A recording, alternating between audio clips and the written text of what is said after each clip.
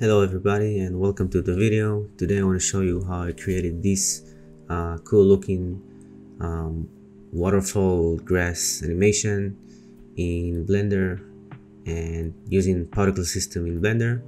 So um, come along, watch the video and yeah, let's uh, get going. So what we have here is pretty simple scene. Um, first of all we have a plane uh, which you know just a simple plane. Um, I just extruded this edge up and then used a bevel modifier to get this smooth um, edge. And then I imported some assets from Quixel Megascans like let me show real quick. I just wanted some high quality and look good looking rocks so that everything will be very very sharp and realistic as possible. And as well a couple of spheres you know just for artistic purposes. And yeah so what else? We have a bunch of lights um, if I go to camera preview mode I have here um, some cameras not only one but this is the main main camera. And then what we have? We have let's you know what? Let's turn off all of the lights. I have here a light collection. Then let's turn off all the lights. So yeah. So first light let's see. A point light so this is the light from this side. This is right here. So it highlights uh, the side of this rock mainly. And let's turn on the other light over. Let's see what it is. Yeah this is on from the top. Yeah this is from the top just for soft light and general lighting for the whole scene and finally we have basically our, our main light. I have this rectangle light here that gives me um, all the important light to the scene. And now for the main thing uh, of this animation which is uh, basically the particle system um, what we have here is this um, sphere just a simple sphere uh, which is uh, the emitter for our particles. So I created a, a sphere. It doesn't have to be a, a high poly or something like this just a simple sphere. And I created two particle systems. Um, I mean you can go with one but I encountered some uh, obstacles with different uh, type of grass and flowers. So I ended up with two particle system but you can completely go with only one particle system. So anyway create an emitter and then go to the particle system click on the plus icon over here and you can name your particle system whatever you, you want.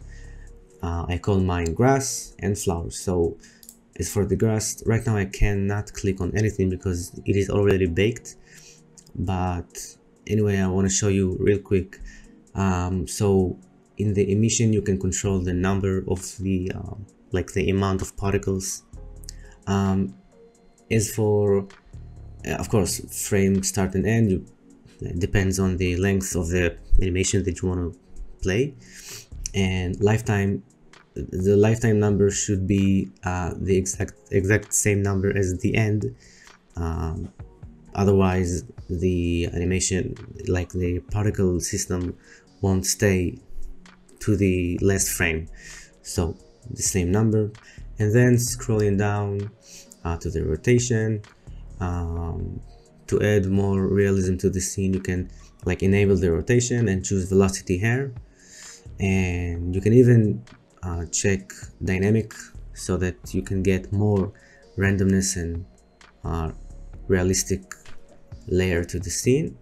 And maybe the most important thing to this animation is this right here physics type.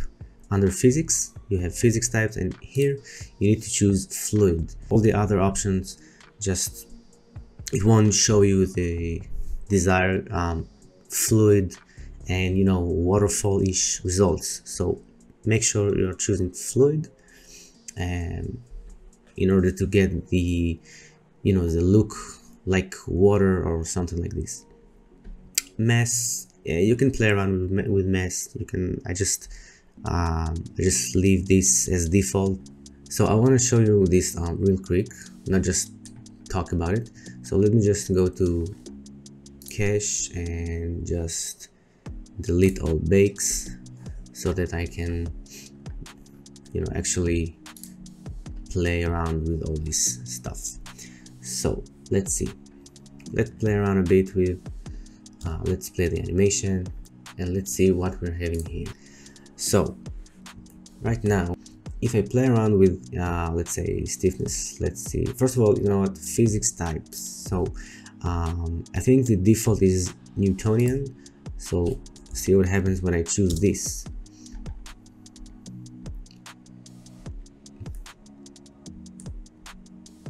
It just doesn't look exactly the same. I mean it's looking nice actually surprisingly but not the same not as good as fluid does.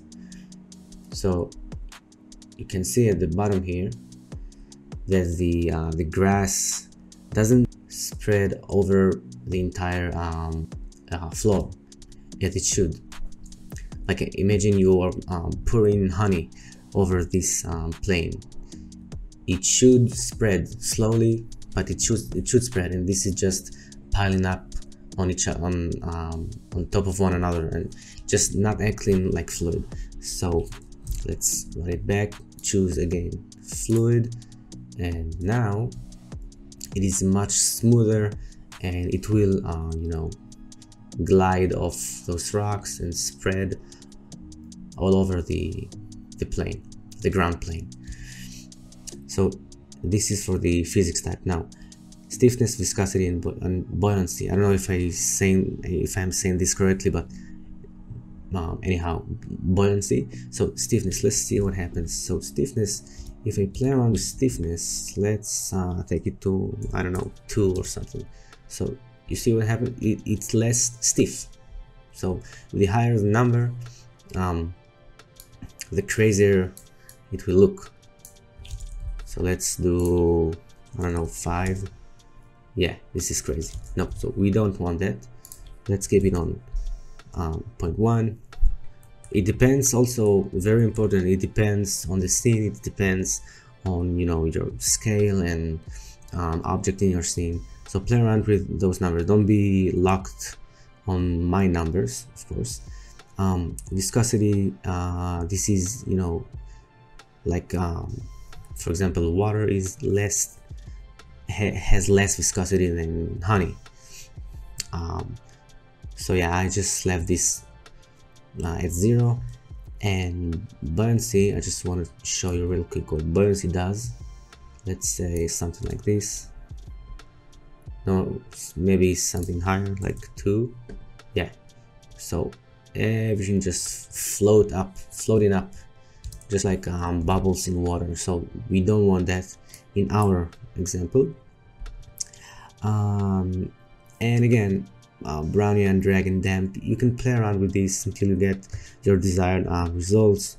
It controls the um, thickness of the fluid and the um, you know uh, if you want it to be fast or slow like let's do damp i think. Let's do something like this. Now this is very very very slow. And if i lower it down to something like this is much faster. So just playing around with it. I want to bring it back to what it was. And let's see um, so now for the let's go to let's go to render yeah. Render. So render as you can choose um if you are like this example if you want to you know pour a a certain object like like mine like uh, flowers or grass or whatever you should choose object or collection. So in my case I have uh, again two particle system one for the grass and one for, for the flowers. So I have in one collection for the um, grass particle system I have in one collection a foliage and in second um, some you know three variants of flowers. So I just choose uh, where is it? Here. I choose collection and then I chose foliage one which is uh, which um, containing my grass assets. And usually I just I leave it that way in the scale uh, factor. And I, I don't mess around with this one. I only if I want to control my scale my scale of my object I just go to the object itself and play around with the scale. So this is looking very very big but in the actual animation it's looking correctly. It's looking like, uh, right. So again play around with it however you want what works for you. And let's see what else. So yeah. Uh, you don't have to play around with children. It, it has nothing to do with our case. And that's all the um, settings for the particle system which is the main thing basically. And yeah you can do uh, whatever like um, you choose different kind of flowers. I chose those three let me show you. Yeah I chose those. I think they're looking um, I mean very cool. Right now this is with no lights. Let's see. Yeah looking nice. I played around with their scale so if I play it again why they're not showing here? Let's see maybe the particle yeah the particle system of the flowers are off. So let's turn it on and let's run it again. Yeah.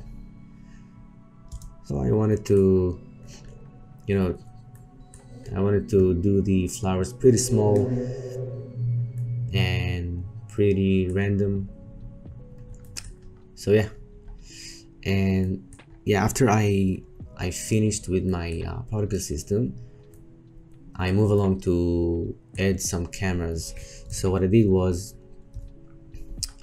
um, I added three cameras. One is the main camera which is that one. And let's for a second let's turn off um where is my emitter? Yeah. Let's turn off the particle system so things run a little smoother. So this is the main angle. And I uh, sometimes edit um, my animation in Premiere Pro. Uh, just uh, for example in this shot this main shot I wanted to start from the from you know something like this and slowly um, take my camera uh, backwards you know to add some uh, effect uh, drama effect. I could have done it in blender but I didn't thought about it so I had to do it in Premiere after the fact. And as for um, the the second and third cameras so the second camera is that one and this is pretty cool. I and I you know uh, added some depth of field focused on this sphere. And if I play the animation yeah this is what happens. So this is the second one. And then the third one is again some you know depth of field action. Just uh, you know to add some more realism to the scene and you know stuff like this. And, and this is the camera this is the depth of field the movement. Pretty nice. I combined all um, you know the three uh, three cameras in Premiere Pro and created the whole clip. And yeah I mean this is it. Uh, fairly simple scene. Again only a plane some imported assets from megascans um, those assets again those are let's see. Uh, those are some really high quality assets like uh, 8k textures.